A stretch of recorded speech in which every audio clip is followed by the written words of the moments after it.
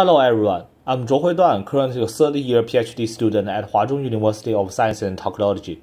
Our paper focuses on how to implement an RDMA-based distributed hybrid memory pool. Here is the outline. Let's begin with the motivation. NVM promises high memory density, low cost per bit, and near zero standby power consumption. RDMA technologies are able to provide low latency remote memory access and have been widely utilized to improve networking performance in HPC. NVMe and RDMA offer the possibility to build distributed memory pooling systems. However, NVM have low performance compared with DRAM. They are often utilized along with DRAM to form hybrid memory systems.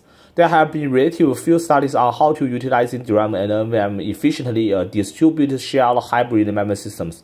Also, it is unclear how to fully exploit high-performance RDMA hardware for DSHM systems. Here are our motivation 1. The asynchronous feature of RDMA communication can potentially be used to improve RDMA write operations. Reliable connection guarantees the data persistency and consistency, but the data transform latency is still on the critical path. A few purposes choose to forego the reliable connection to achieve high throughput of RDMA operations. Unreliable connection and unreliable datagram hide the network RTT by returning locally. However, the UC and UD do not guarantee reliable data transform in heavily loaded DSM systems and may lead to significant performance issues. Unsignaled RDMA write even does not need to wait for the work complete event, but it could quickly fill the QP and overload the server receive buffer since it can just keep sending work requests without being blocked. Here are our motivation too. DRAM buffering had been demonstrated to be effective in hybrid memory systems on a single machine, and we could extend this idea to DSHM. RDMA read operations are usually persistent in a synchronous mode, and this latency is mainly determined by network RTT and remote NVM read latency. Here are the challenges. First, traditional hot page migration and caching mechanism in single-node environment are not applicable for RDMA-enabled DSHM systems. Second, the latency of RDMA write operation can be main bottleneck in critical paths of applications. Third, there is a must to guarantee data consistency for sharing distributed hybrid memory among multi-applications. Gengar provides remote memory access based on CS mode. There is no centralized metadata server. Each client maintains a list of remote servers locally. To guarantee that all data stored in DSHM pool are persistent, the distributed RAM buffer in Gengar is implemented like a write-through cache. Gengar chooses an object-based DSM design to access the remote shared PM directly. Gengar provides very simple API to use the memory pool through objects. These abstractions allows programmers to use remote memory with very simple APIs, and thus can significantly facilitate RDMA programming. As one-side RDMA operations are not pursued by remote server CPU and OS, it's hard to monitor data accessed at the server side. Gengar can explore the of RDMA read operation to identify hot object at the client side. Each Gengar client determines hot object individually, and then read count of this object and send to the server for selecting hot object globally. We dynamically adjust the threshold of hot data according to the DRAM utilization and benefit of DRAM caching. Gengar selects cold data for eviction based on the data access recency and frequency. The whole data caching is performed solely by Gengar, without the involvement of client application. Programmers even do not have to know the hybrid of a remote memory pool.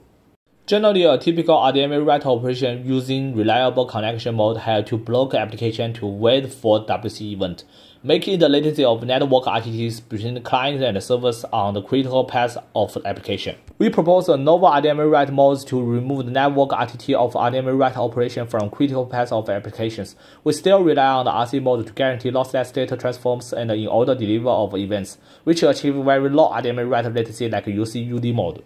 To reduce the RDMA write latency observed by applications, we redesigned the RDMA write parameter to return a complete event of RDMA write operation to the application once the client NIC received a WR, so that the application can continue to execute immediately.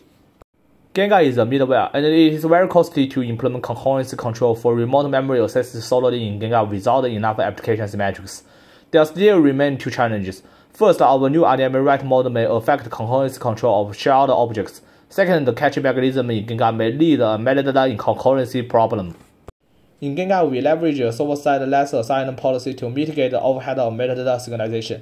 We dynamically adjust it through hill climbing algorithm according to the access frequency of objects. Gengar set a short length for hot object in NVM to fetch them to the DRAM buffer earlier.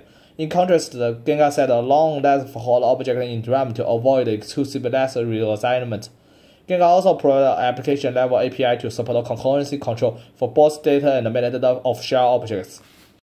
To run popular big data applications such as MapReduce in Gengar, we integrate Gengar with Fuse to implement a simple distributed file system over DSHM pool. The metadata of the object are stored in the client locally, while the data of object is stored as a file block in the Gengar memory pool. In this way, legacy application can still use the existing file system interface while indirectly access the remote memory in Gengar. Here is the experiment setting. We use micro benchmark and public benchmark to test Gengar and compare with the state-of-the-art systems.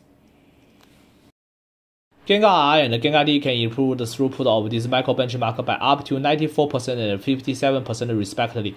Totally, Gengar can improve application performance by up to 91%, 60% on average. Gengar R is better to write intensive workload, Gengar D is better to read intensive workload. In MapReduce, Gengar reduced the execution time by 64% and 56% on teragram and word count, and Gengar improved the read and write throughput by 51% and 60% compared with the state-of-art Octopus. In KV slots for all workloads, Gengar improves the application performance by 48% and 40% on average compared with Octopus and Hotpot. In graph processing, for very large dataset, Gengar improves the performance by 60% and 52% compared with the Octopus and Hotpot. Finally, we make a conclusion of our works. Gengar allows application to access remote DRAM and NVM in a large and global memory space through a client-server mode. We exploit the symmetric of RDMA parameter at the client side to identify hot data in the server node and catch it in a small DRAM buffer. We also redesigned RDMA communication port tree to reduce RDMA write latency. Experimental shows that Gengar can improve application performance by 40% to 70% compared with the other state-of-art DSHM systems. That's all for the introduction of Gengar. For more detailed information, please check our paper. Our open source the first version of Gengar on GitHub. Thanks a lot for your attention. Any question, we welcome.